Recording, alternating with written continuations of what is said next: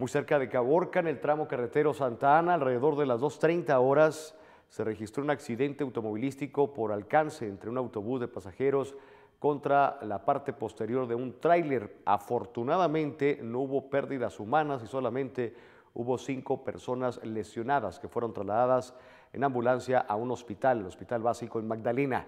Tres de ellos fueron trasladados después a Hermosillo para valoración médica ordenada por la Secretaría de Salud por sospechas de posibles fracturas. En el Centro de Salud Urbano en Santana permanecieron dos personas con lesiones leves para observación que ya fueron dadas de alta.